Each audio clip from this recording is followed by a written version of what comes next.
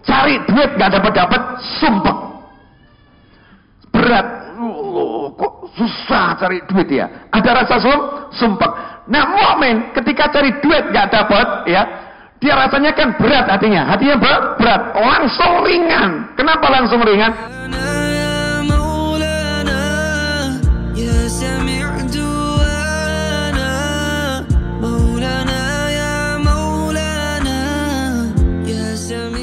Pernahkah kita ketika berangkat kerja niat kita itu kuat seperti itu, minta rezeki dari Allah atau ketika berangkat kerja di kepala langsung gaji dari perusahaan. Mana yang kita cari? Allah atau angka? Ting ding ding ding ding ding. Sak norek. Kasihan. Kita-kita ini kasihan. Setiap kali berangkat kerja orientasinya apa? Angka. Angka. Ngeri loh ini ya.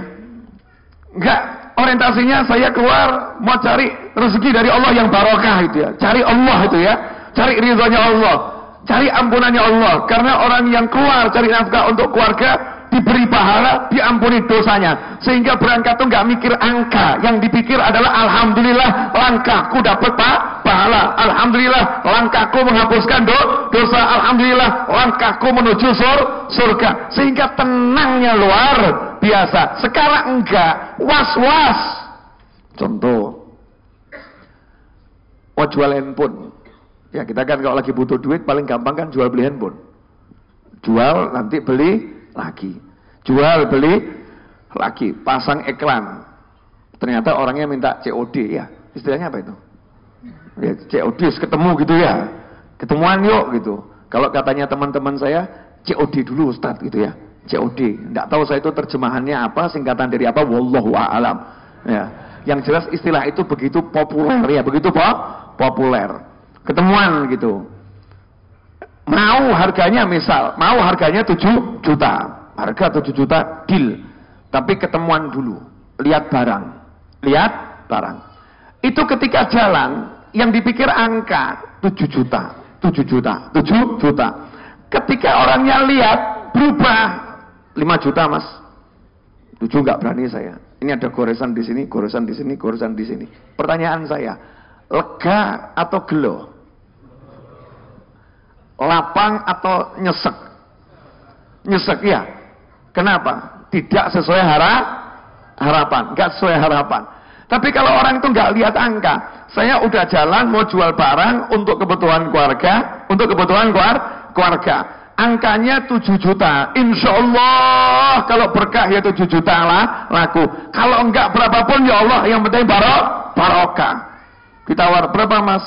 5. Udah maksimal berapa? lima setengah Bismillah barokah insya Allah mas insya Allah baro, barokah ulang uang bawa uang lima juta setengah istrinya teriak ini handphone harga 8 juta kamu jual 5 juta setengah bodoh mau Masya Allah ya maaf bu ini kalau kasusnya yang jual handphone laki-laki Sebaliknya kalau jual handphone itu istri, gitu ya. Laki-laki juga ngomong, ngomong, dibelikan jual lagi, belikan jual lagi. Memang kamu pandai jual beli. Besok saya bukakan toko.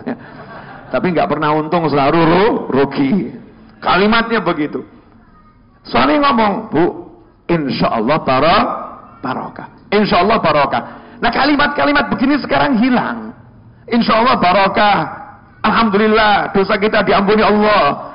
Katanya dalam hadis disebutkan, dalam hadis disebutkan, minat dunubi dunuban. Di antara dosa itu ada satu dosa Ya, ada satu dosa yang tidak bisa dihapus oleh amalan model apa pun. Kita istighfar satu miliar kali, ya. Kita sholat 70 ribu rakaat, dosa itu nggak akan dihapuskan oleh Allah Taala, kecuali dengan satu hal. Apa satu hal itu? Cari duit nggak dapat dapat, sumpah.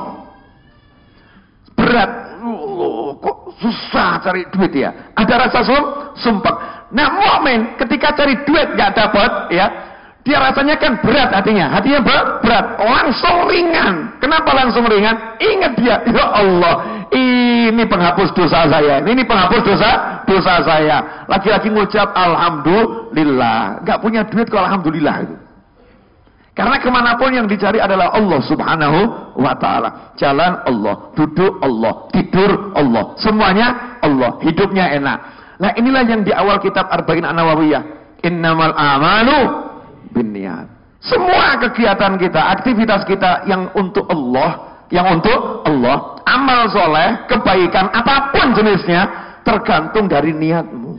Niatmu itu seperti seperti apa? Makanya digambarkan barang siapa yang niatnya dunia.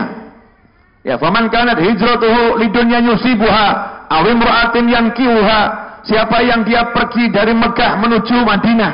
Saat itu Mekah masih menjadi tempat ya basisnya orang-orang kufur yang memusuhi mus, muslimin. Sehingga muslimin terpaksa harus pindah dulu dari Mekah menuju Ma, Madinah. Mencari tempat yang mudah untuk ibadah. Tidak terancam dirinya, nyawanya untuk ibadah. Ibadah. Maka barang siapa pindah dari Mekah menuju Madinah. Tujuannya adalah mencari Allah Ta'ala mencari rasulnya Allah taala fa hijratuhu ilallahi wa rasulih maka dia pindahnya itu dia mendapatkan Allah dan rasulnya